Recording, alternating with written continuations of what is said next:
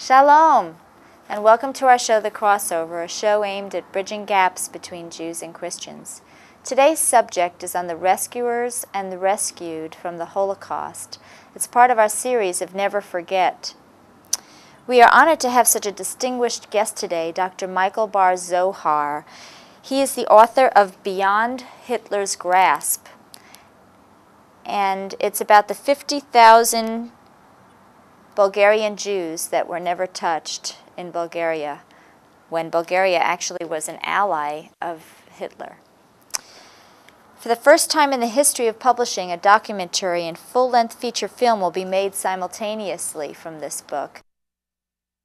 Dr. Michael Bar Zohar has appeared on CNN, ABC, Larry King Live, Nightline, and C SPAN. He's an internationally noted historian, news correspondent, and university professor with over 30 books to his credit. His best selling book, Suez Top Secret, won the Israeli equivalent of the American Pulitzer Prize, the Sokolov Prize. He's born in Bulgaria and he emigrated to Israel in 1948. Dr. Michael Bar Zohar is also the official biographer the founder of Israel, first Prime Minister David Ben Gurion. He was media and communications advisor for Moshe Dayan, as well as a former member of the Israeli Knesset. He has a PhD in political science and international relations and was knighted in France. Here's Mitch and Dr. Michael Bar Zohar. Dr. Boz- Bar, Bar Zohar, excuse me, thank you very much for coming and joining us on the program. Thank you, Mitch. It's a pleasure. Uh, let's start off here with the, uh, the, the aim of our, the crossover program is to bridge a gap between Jews and Christians. And, and I know every so often you're at Emory University in, in Georgia teaching a, a course, and one of those courses happened to be on uh, rescue and rescuers from the Holocaust. And um, why is this an important course to be teaching today? And um, how can that help bridge the gaps between the, the Jews and the Christians? Uh, first of all, because uh, people look at the Holocaust as something terrible, something dark in which you have no ray of hope. And I believe that if we teach them about the people who risked their lives to save uh, other human beings, to save Jews in this uh, story, uh, that gives a, a ray of a beacon of light into this dark story of the Holocaust. It bridges the gap because who were the people who saved Jews? They were a lot of Christians. Christians. They were not Jews. The Jews were running away for their lives. Right. So you have people like Schindler, uh, have people uh, who carried out the operation like in Denmark or like in Bulgaria. Uh, you have all these nuns and priests in Italy who did a tremendous job of saving people, in spite of the fact that the Pope at the time was not exactly the one who was ready to help the Jewish people. Uh, you see that there was a vast group of people, a vast uh, mass of people who were ready to take a lot of risks to serve, to save sure the. Jewish they brothers. their lives to do that. Now, Dr. Barzohar, here's a book that we'll hold up for the cameras, and this is, um, I know you've written over 30 books. Uh, what, here's a book called Beyond Hitler's Grasp, and I want to spend some time with you sharing with us on this the story of the Bulgarian rescue. There were approximately 50,000 Jews in Bulgaria, and um, here was a country that seemed to be, a, what was different about this country uh, with the Nazi occupation versus other European countries? Well, first of all, they were allies of the Nazis. They were not an occupied country, they were an allied country. They were a member of the uh, tripartite pact with Germany, Italy, and Japan. Uh, they supported Germany. Uh, they policed for Germany several parts of uh, southeastern Europe. The king, Boris, was a close personal friend of Adolf Hitler. So they had a Nazi government. a pro-Nazi government, yes, a pro-fascist majority in parliament.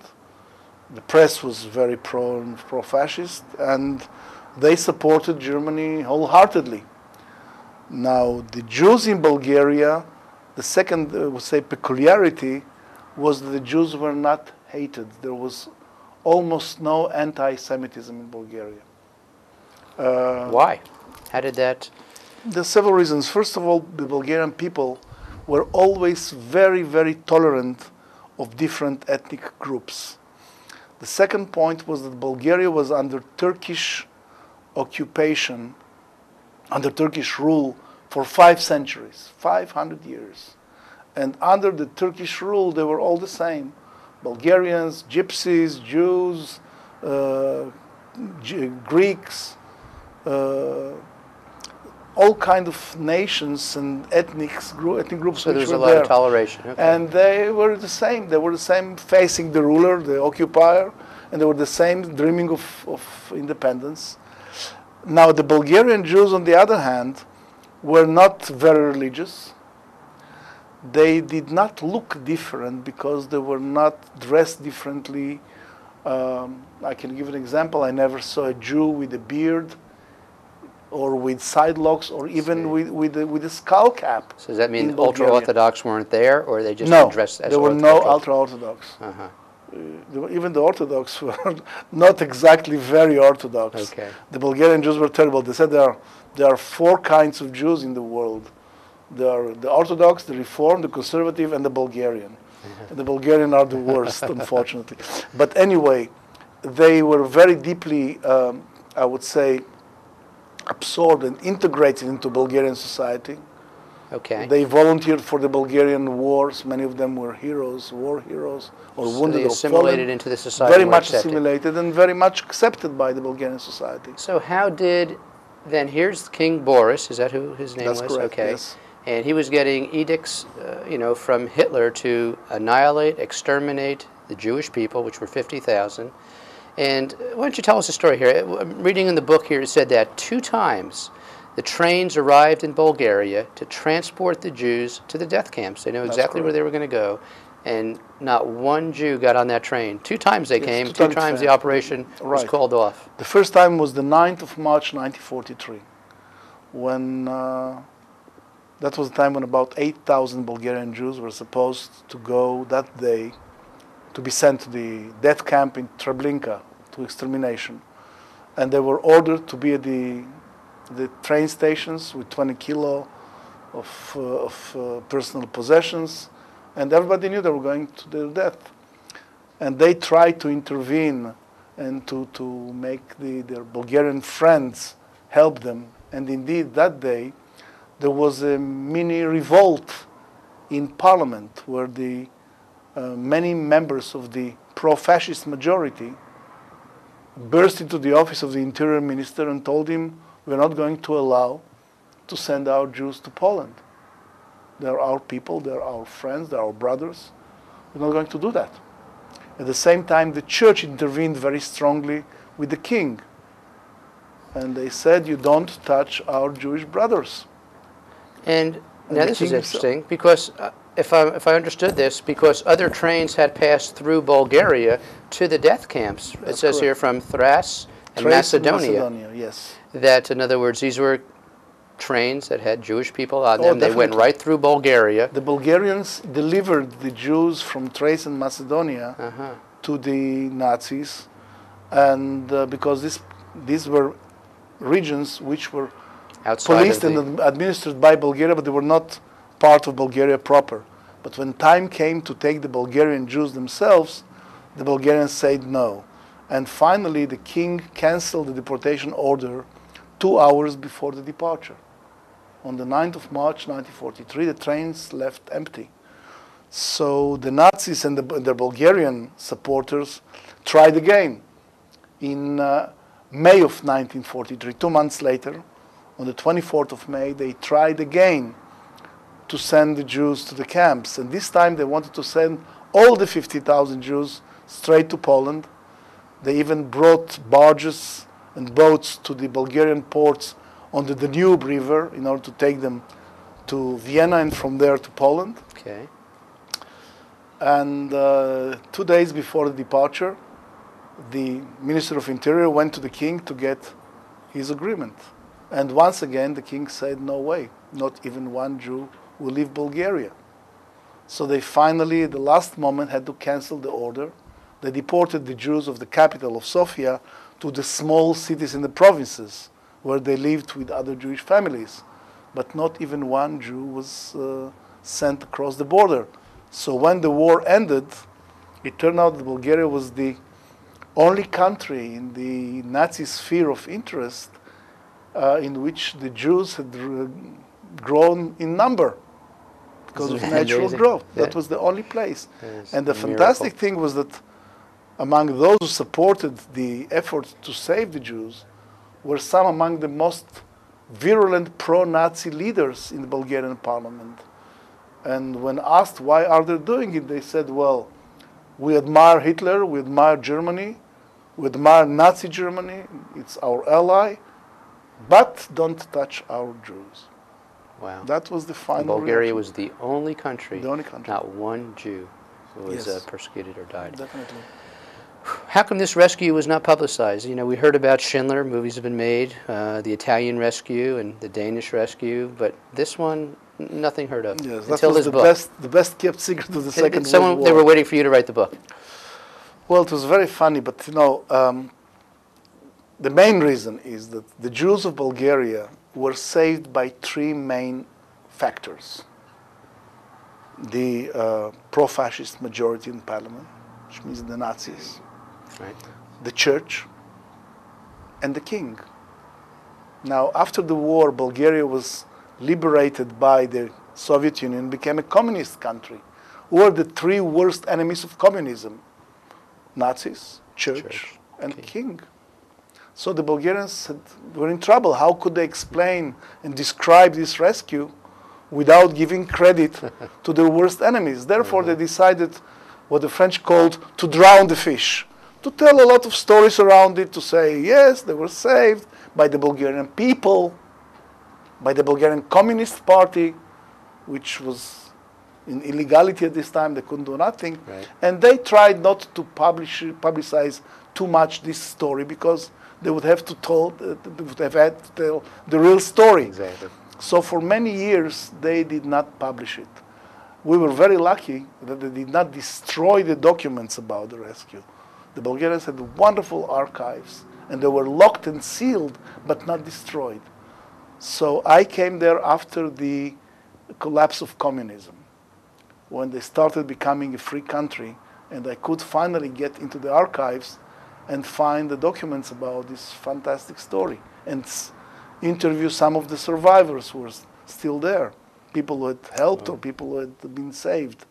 And that was a very interesting uh, research. This, this book now has become a documentary, and in fact, uh, just recently at the United Nations, or it's, was its premiere in the United States, was through the United Nations in New York, and, and then uh, just yesterday you were saying in uh, Switzerland at the United Nations in Geneva was the premier in Europe for the viewing of the documentary, and soon to be a full-length movie and never has a book been a documentary and a movie before. Congratulations there huh? So you're about to see something that's really uh, quite gripping. Enjoy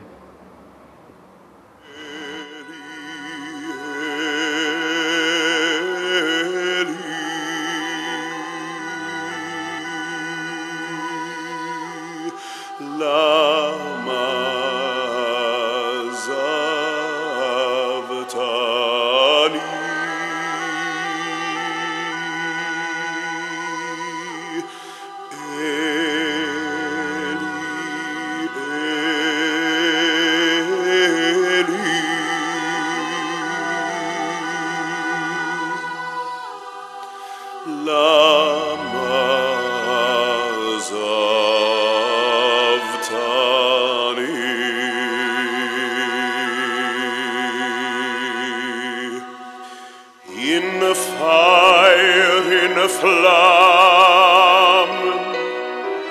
uns gebrennt,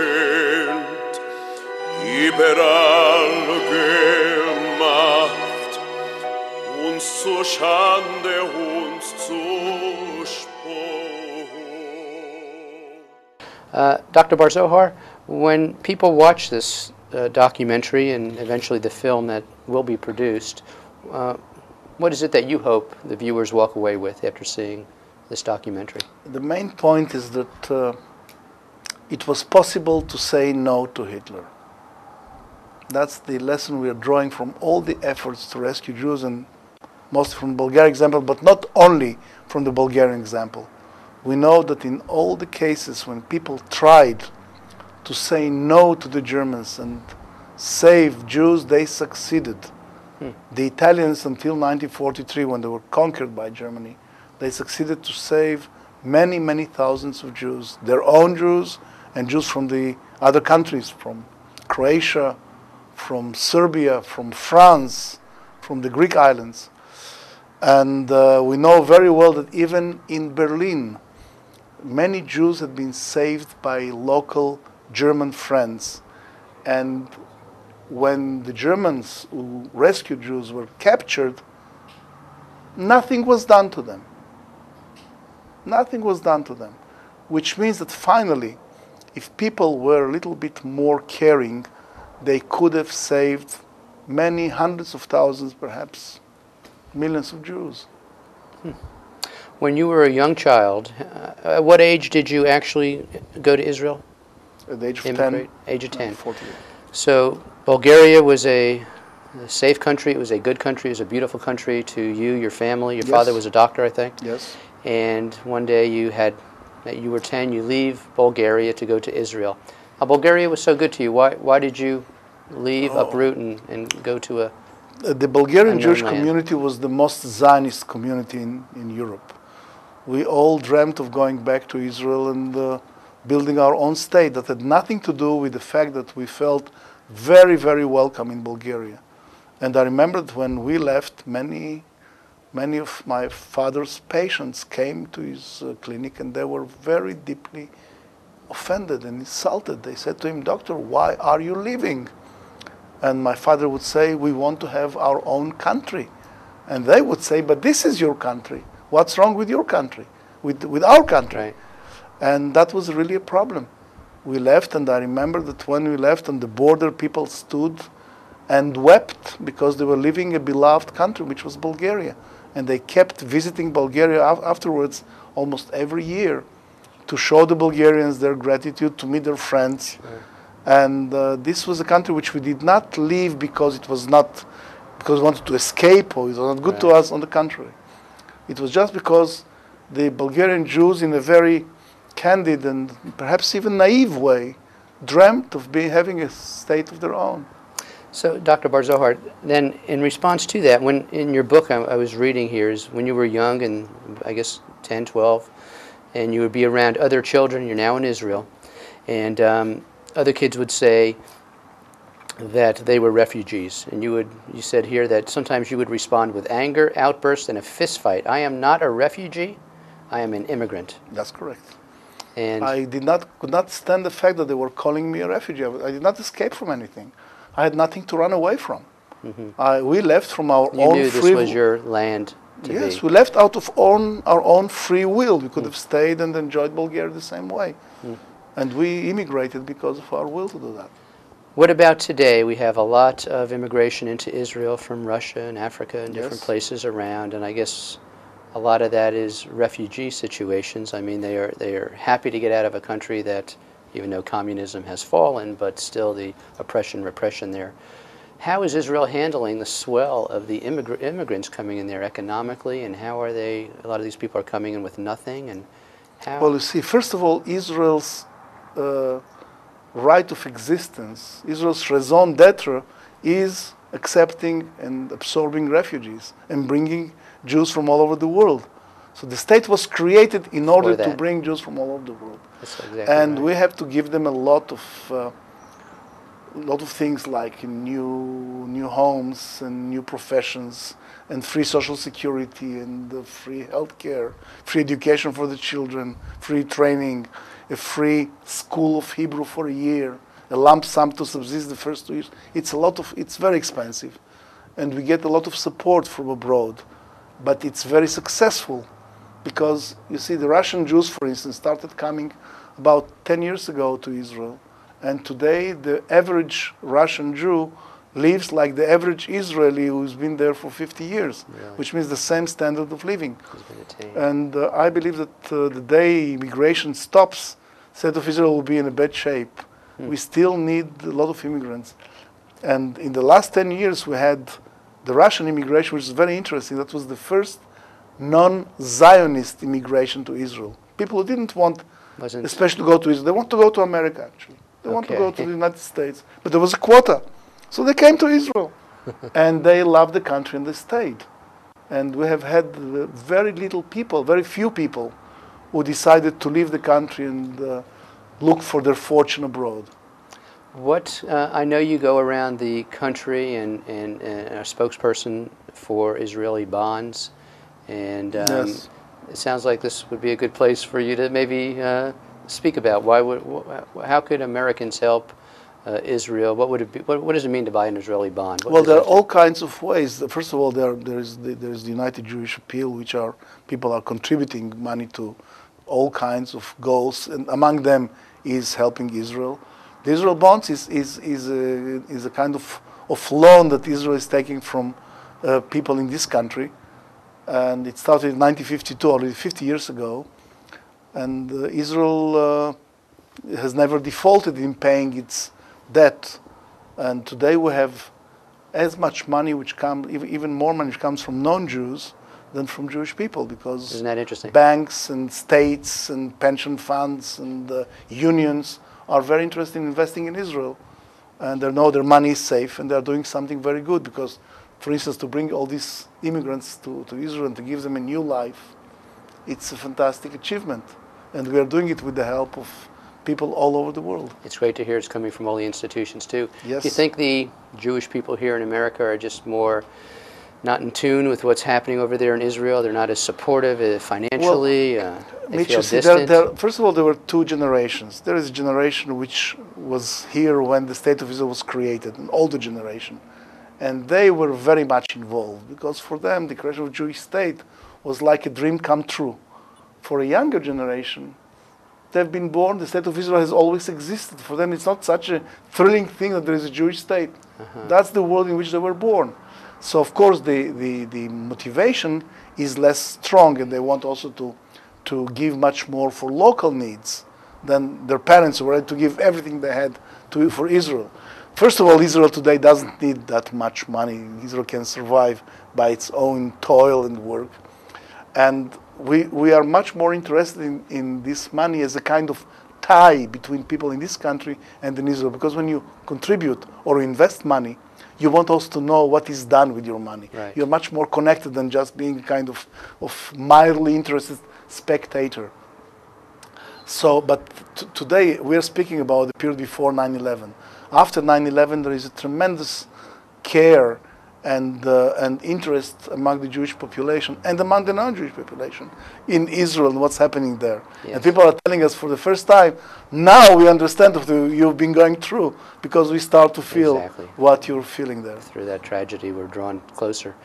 Well, Dr. Barzohar, we have about 30 seconds, and uh, just want you to have the last 30 seconds here and just speak to our viewers of just what's on your heart. What do you want them to know before you uh, sign off, and what's important for us to hear in this time, in this age? Well, uh, I think very frankly, without trying to offend anybody, that the creation of the state of Israel was finally the most and most uplifting and important event of the 20th century. We saw communism rising and falling. We saw Nazism rising and falling. We saw the Cold War. We saw many new states being created and most of them failing in, in, in unable to, to live in democracy and freedom. And I think that the return of the Jewish people to its homeland, it's a dramatic thing which was carried out not only by the Jews but with the help of many friends throughout the world, Jews and Christian alike. And we feel, I feel very fortunate to live in this period and to be able to be a part of this dramatic event which will. it's exciting. It's prophecy Yes. coming true, too. That's correct. Well, we're out of time. We sure appreciate your time again, Dr. Thank you, Bar Mitch. Thank you. For those of you who might be interested in acquiring any of Dr. Michael Barzohar's books, especially the Beyond Hitler's Gra- Grasp, you can get it at local bookstores, and if you can't find it there, just have them order it for you. It just came out in a paperback. Also, if you would like to invite him to speak at your civic organization or your church or synagogue, you can contact him at Michael, M-I-C-H-E-L, bar at AOL.com. Also, he was mentioning Israeli bonds, and for those of you who would like to invest and help Israel, the number to reach for that is 1 800 676 3101.